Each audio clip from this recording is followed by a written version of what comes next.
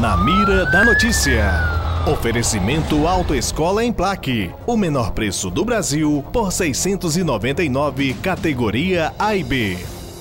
Célio Dias Moura dos Santos era quem jogava as cartas na mesa de apostas e também fazia parte da organização de tráfico de drogas que era liderada por Maurino Nascimento Silva, que também foi preso no primeiro momento da operação.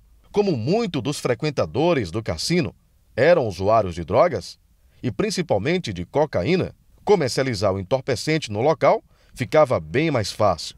E a venda era feita por Célio, o dealer da mesa de poker.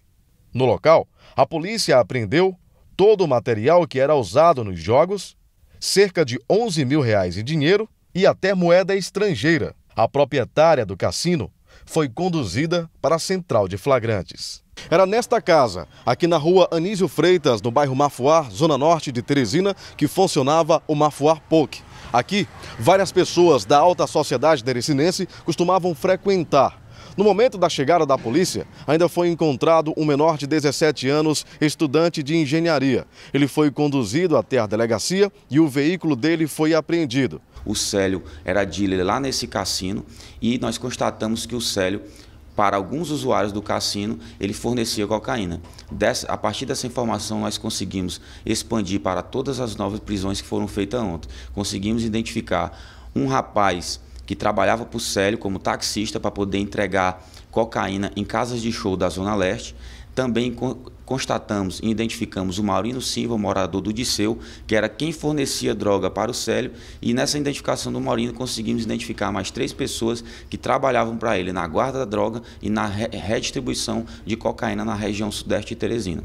Aprendemos em loco um adolescente, um rapaz que estuda, faz engenharia civil na faculdade particular de Teresina, de 17 anos.